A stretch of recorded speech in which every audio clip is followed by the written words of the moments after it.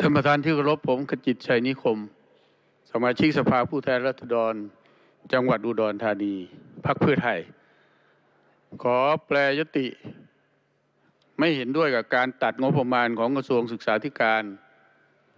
การโอนงบประมาณกระทรวงศึกษาธิการ 4,700 ล้าน แต่ก็ไม่เห็นด้วยกับการโอนงบประมาณกระทรวงสาธารณสุข 1,300 กว่าล้าน ท่านประธานครับ กระบวนการทั้งหมดในการจัดทำหรือในการพิจารณาวันนี้เนี่ยของการโอนงบประมาณนี่มาถึงชั้นกรรมธิการ ผมแปลกใจครับว่าตั้งแต่สำนักงบประมาณ รัฐมนตรีคณะรัฐมนตรีโดยการนำของนายกรัฐมนตรีและท่านรัฐมนตรีกระทรวงการคลังที่นั่งอยู่นี้ รวมทั้งกรรมธิการเสียงส่วนใหญ่ ซึ่งผม ก็มีส่วนในการตั้งไป ท่านไม่ได้เปลี่ยนแปลงอะไรเลยท่านประธานครับที่ผมแปลยติ ตัดงบประมาณสองกระทรวงนี้ ความเห็นของผมนี่สอดคล้องกับสังนับงบประมาณที่รายงานสรุปการรับฟังความเห็นของประชาชน ความเห็นของประชาชนร้อยหกสิบกว่าข้อร้อยหกสิบสองข้อ เกือบร้อยข้อเนี่ยบอก อย่าไปตัดงบประมาณของกระทรวงสาธารณสุข อย่าไปตัดงบประมาณของกระทรวงศึกษาธิการ ดูเหมือนว่าประเทศนี้ทั้งกระบวนการตั้งแต่คณะรัฐมนตรีสำนักงบประมาณ กรรมธิการเสียงส่วนใหญ่ไม่ได้ดูอะไรเลย แผนพัฒนาเศรษฐกิจและสังคมเขาเน้นเรื่องการพัฒนาคน อยู่กระทรวงศึกษา เรื่องการพัฒนาคน อยู่กระทรวงสาธารณสุขเรื่องการรักษาคุณค่าและคุณภาพของชีวิตของคน ท่านท่านไม่ละเลย ท่านใช้ความคิดแบบไหนผมไม่ทราบ แต่ว่าไม่ฉลาด ไม่ยอมรับแผนพัฒนาเศรษฐกิจและสังคม ไม่เลือกที่ควรไม่ควร โครงการอะไรตัดไปหมดเลย เป็นสิ่งที่ผมเสียใจมากและยอมรับไม่ได้ท่านประธานครับ ผมคิดว่า ผมจะไม่ลงรายละเอียด แต่ว่าท่านเทียบยุทานั่งอยู่เนี่ย เอามาฝาก ผมก็ต้องลงรายละเอียดเลย ในกระทรวงศึกษาธิการเนี่ย ท่านตัดโครงการแล้วรถโดยสารร้อยห้าสิบกว่าคัน ตัดไปหมดเลย แผนยุทธศาสตร์ชาติสร้างความเสมอภาคทางการศึกษา ท่านตัดไปหมดเลยท่านประธานครับ โครงการหนึ่งทุนหนึ่งอำเภอสี่สิบห้าล้านท่านตัดไป ผมถามว่า ถ้าเขาคัดเลือกคนแล้วหนึ่งทุนหนึ่งอำเภอท่านจะให้เขาทำยังไงครับ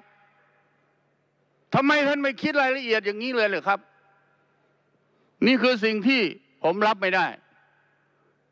โรงเรียนต่างๆอ้าวไล่จากโรงเรียนชายแดนพม่าบ้านแม่โกนเกณฑ์โรงเรียน ทีกระเปอร์ อยู่ห่างไกล อยู่ชายแดนเขมรท่านไปตัดเขาหมดเลย มาโรงเรียนบ้านผือบ้านเทื่อมเขตของท่านเทียบยุทาเนี่ยบ้านโพนนแดงบ้านดงหมูชัยเจริญบ้านนาลาย ท่านตัดเขาเรียบเลย อยู่บ้านดงพิบูลรัก ตัดไปหมด สุรินทร์อะไรท่านตัดไปหมดทั้งกระทรวงศึกษาสี่พันเจ็ดร้อยไม่ใช้วิจารณญาณในรายละเอียดเลย น่ารังเกียจมากกระบวนการของประเทศนี้ในการจัดทางงบประมาณอะท่านรู้ไหมครับท่านประธานสำนักงบประมาณก็อ้างบอกมติคลมวันที่เจ็ดเมษามติคลมวันที่ยี่สิบเอ็ดเมษาทำเหมือนว่าตัวเองไม่ใช่เสนอ เสร็จแล้วก็พอเสนอแล้วคอรมอประทับตาแล้วก็อ้างดะไปหมดเลยท่านประธานที่เคารพครับ เมื่อกี้นี้โครงการของกระทรวงสาธารณสุข ท่านตัดงบไป พันสามร้อยห้าสิบหกล้าน คุณหมอท่านพูดไปแล้ว อันนี้ไม่เลือกที่ควรไม่ควรเลย โครงการพระราชดำริเฉลิมพระเกียรติตัดแรกเลย โรงพยาบาลสมเด็จพระยุพราช นครพนมจอมบึงบ้านดุง ตัดเลย สถาบันพระบรมราชนกสามสิบหกล้านตัด ผมไม่เคยเห็นน่ะผมผิดหวังมาก ทั้งคณะรัฐมนตรีสำนักงบประมาณ ทั้งกรรมธิการเสียงส่วนข้างมาก ท่านไปลงมติได้ไงอะแล้วผมจะเสียใจมากถ้าสภานี้ ไม่ทำมาเลยลงมติตามกรรมธิการเสียงข้างมาก อย่างน้อยท่านต้องเอาเนี่ยเนี่ยเนี่ยเหมือนผมเนี่ย ตัดไม่ต้องให้โอนกระทรวงศึกษาธิการ ไม่ต้องให้โอนกระทรวงสาธารณสุขทำเหมือนมาก ทำเหมือนไม่รู้จักว่าโรคระบาดขนาดนี้ มันเป็นต้นเหตุในการโอนลงมา ท่านก็ไม่ยอมรับ ไปตัดเขาทำไมกระทรวงสาธารณสุขทหารแนวหน้า คืออสมจะได้อะไรโรงพยาบาลท่านก็ไปตัด จริงหรือเปล่าอะ งบประมาณโอนโอนไปให้เขาอยู่สี่หมื่นห้าพันล้าน ตอนยืมเงิน แล้วตัดทำไมจะให้เขาไปอยู่ เพราะฉะนั้นสิ่งที่ผมอยากกราบเรียนว่า กระทรวงศึกษาธิการไม่ควรตัดอย่างยิ่ง ไม่ควรตัดโดยเฉพาะโครงการหนึ่งหนึ่งทุนหนึ่งอำเภอ แล้วโครงการเสมอภาคทางการศึกษาทานตัดเรียบเลย ผมจึงไม่เห็นด้วยในการที่จะโอนงบประมาณของกระทรวงศึกษาธิการ ในการที่จะโอนงบประมาณของกระทรวงสาธารณสุข ผมจึงเสนอตัดทั้งสองไม่เห็นด้วย ไม่ให้โอนทั้งสองกระทรวงนี้ เป็นเงินทั้งหมด 4,700 กระทรวงศึกษา แล้วก็ 1,300 กว่ากระทรวงสาธารณสุข ไม่เห็นด้วยกับการโอนงบประมาณสองกระทรวงนี้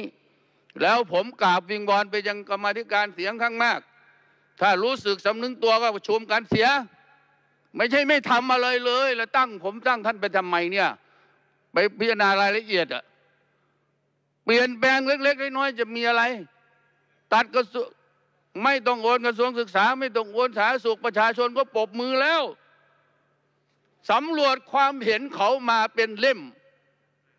ร้อยกว่ารายการเขาบอกว่าอย่าตัดงบประมาณกระทรวงสาธารณสุข และกระทรวงศึกษา แล้วท่านเอาตาไปอยู่ที่ไหนไม่เคยดูเอกสารเหล่านี้ เพราะฉะนั้นผมฝากนะครับกรรมาธิการเสียงข้างมาก ผมฝากไปยังบรรดาสมาชิกสภาผู้แทนราษฎร ท่านอย่าทำหน้าที่เป็นตายางมากนะครับ ใช้สติปัญญาหน่อยอย่างน้อยแปรยติตามผมนี่ครับ ขอบคุณครับ ถ้าชอบคลิปนี้อย่าลืมกดติดตาม subscribe ไลค์แชร์เพื่อเป็นกำลังใจให้คนทำคลิป กดกระดิ่งเพื่อจะไม่พลาดทุกการติดตามรับชม ดูจบอย่าลืมคอมเมนต์เพื่อการปรับปรุงให้ดีขึ้น ขอบคุณครับ